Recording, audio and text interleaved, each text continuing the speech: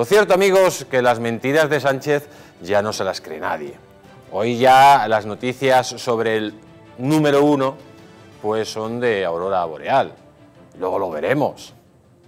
Fíjense si se preparó la entrada de, Elsie Rodríguez, que tenían tres días de fiestas aquí en Madrid con Delcy Rodríguez.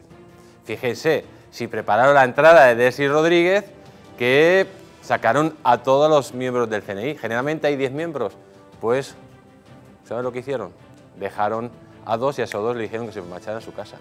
Y mientras tanto, Aldama, Coldo y compañía, durante ocho horas sacando y metiendo maletas por aquí, para allá y para el otro lado. En definitiva, amigos, lo que estamos viviendo ahora mismo es la conclusión. Si ustedes unen todas las noticias, vemos que la Cosa Nostra, está directamente dirigiendo nuestro país.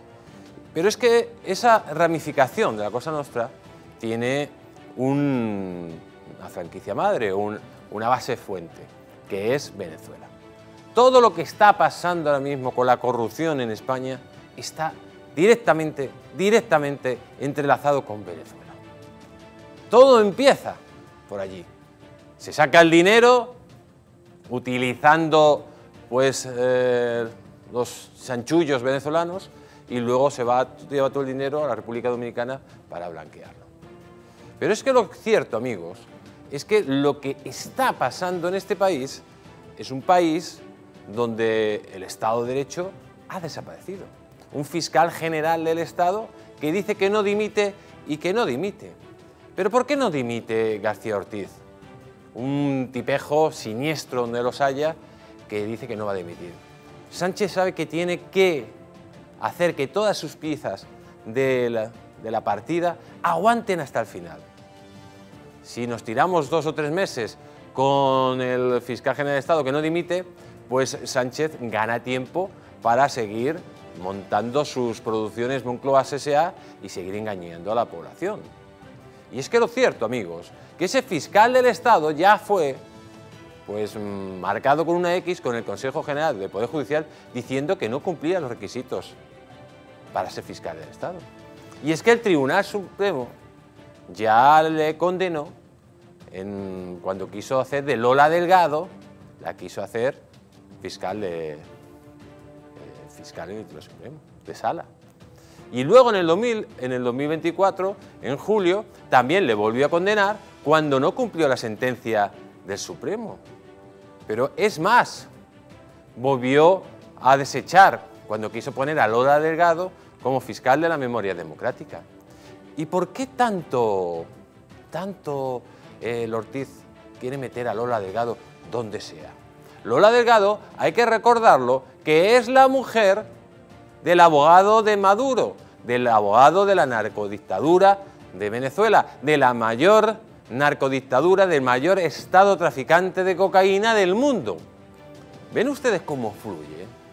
Delsi por un lado, las maletas por otro, Aldama, Coldo, Álvaros, el presidente del gobierno mintiendo porque vino Delsi o no dejó de venir. Y es que lo cierto, amigos, que están todos metidos en el mismo saco. Son todos la misma basura, con un jefe, con un número uno, que intenta tirar balones fuera. Pero todo esto no se puede coordinar si no viene desde arriba. Y cada día está más claro, y cada día han salido ya las pruebas. Lo decíamos, llevamos mucho tiempo diciéndolo. Es un Estado fallido, sumiso a un narcostado como Venezuela, y ojo, que España, amigos, está en un proceso de destrucción no solo del Estado de Derecho, sino de convertirse en lo que quiere Pedro Sánchez, en una narcodictadura al estilo de Venezuela, donde la ley sean ellos, donde no haya principio de igualdad y donde no haya imperio de la ley. Esa es la situación que estamos viviendo en estos instantes. La conexión Madrid-Caracas es determinante. Es que es determinante porque ¿quién es el jefe del PSOE? ¿Quién es la mano que mece la cuna de Pedro Sánchez? Zapatero, amigos. ¿Quién es Zapatero? Es el ministro de Exteriores de España y el canciller de Exteriores de Venezuela. Ese es el nexo de unión y por ahí surge todo, amigos. convirtiendo al partido de gobierno en un, en un partido pues directamente pringado hasta las trancas de corrupción. Porque claro, ¿qué va a salir de la sumisión a Venezuela? Hoy, amigos, la presidenta de la Comunidad de Madrid ha estado de 10. Por primera vez un político les canta las 40 a estas marxistas, a estos marxistas, a estos comunistas, que son una lacra, que son un cáncer para este país. Pero en dos minutos les dijo todo. Escúchenla.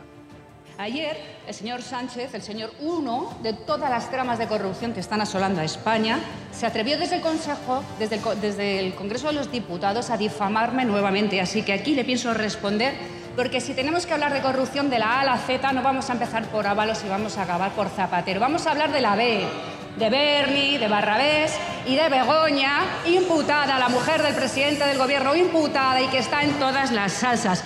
Otra que va para adelante. Y ya el último, el fiscal general del Estado, puesto ahí porque no tiene ni punto honor ni ningún tipo de prestigio. El primer fiscal general de la historia de España imputado por obedecer a las obsesiones del presidente del gobierno conmigo. Pero como no, no, lo ven delito, porque como todo vale contra el adversario político, no ven dónde están los límites. Pero esto es un desastre para España. Miren, primero, porque todos los poderes del Estado han actuado contra un ciudadano particular al que le han vulnerado su derecho a la defensa y al que sí, ya han condenado política y mediáticamente con un escarnio desde hace un año.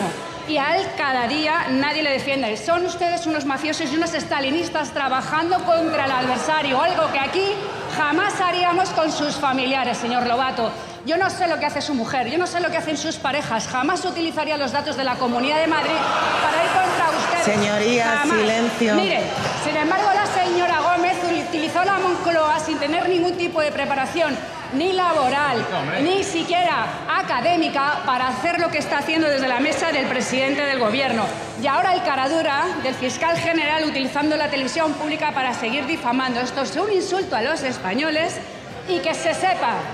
El ciudadano español está indefenso ante este gobierno que utiliza prácticas mafiosas. Y usted, que es funcionario, debería condenarlo. Pero claro, le queda menos para volver a Hacienda que para seguir en ese puesto. Es un gobierno de tiranos, de caraduras, un gobierno que vulnera los derechos de los ciudadanos y por eso Pedro Sánchez también irá para adelante.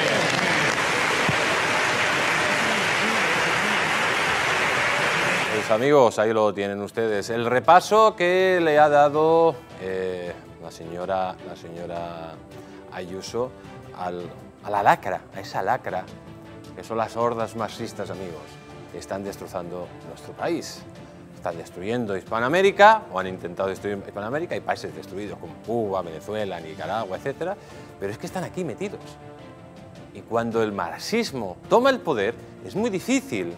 No lo avisaban nuestros países hermanos, la gente de nuestros países hermanos. Cuando el marxismo toma el poder, es muy complicado. Porque aquí no estamos hablando de un partido político más bueno, más malo, no, estamos, como dice la señora Ayuso, estamos hablando de la mafia, de la mafia, que utiliza las instituciones del Estado no solo para robarles a todos ustedes, no solo para pagar a algunos de ellos las prostitutas y la cocaína, sino para atacar y perseguir al contrario. Quieren eliminar, amigos, la disidencia. Quieren eliminar a aquel que piensa diferente para implantar su política bolivariana. Y ojo que hoy ha habido una buena noticia. Atención, Israel ha acabado con el jefe de Hamas, el ideólogo de la masacre del 7 de octubre. Atención que es una buena noticia que caigan personajes siniestros, que caigan terroristas como este señor. Y esto es un mensaje a navegantes señor Maduro. Esto es un mensaje a navegantes, porque igual que terminan con estas ratas, pueden terminar con otras ratas más gordas. Vamos a escuchar el siguiente vídeo. Las fuerzas de defensa de Israel han matado en la franja de Gaza al actual líder de Hamas, considerado el cerebro de los atentados del 7 de octubre de 2024, que dejaron unos 1.200 muertos y alrededor de 250 secuestrados, según han confirmado las fuerzas de defensa. El portavoz de la CFDI y los portavoces del Shin Bet confirman que al final de una cacería que se llevó a cabo durante aproximadamente un año, anoche fuerzas de la CFDI del Comando Sur mataron al líder de la organización terrorista Hamas, activa en el sur de la franja de Gaza, han confirmado las fuerzas de defensa a través de la red social X. Inicialmente, las FDI y el Shin Bet habían informado de la muerte de tres terroristas en una operación en Gaza y de una investigación para determinar si uno de ellos era Sinwar, sin apenas entrar en detalles más allá de aclarar que no había ningún rehén en la zona. Sinwar se había convertido en uno de los principales objetivos israelíes de Israel durante el último año, especialmente después de su ascenso el pasado mes de agosto al frente de la organización. Considerado uno de los fundadores del brazo militar de Hamas, Sinwar permaneció preso en Israel desde 1989 hasta el año 2011, cuando fue liberado dentro de un canje pactado para lograr la entrega del soldado israelí Gilad Shalit. No tenemos, amigos, eh, una rata menos que preocuparnos.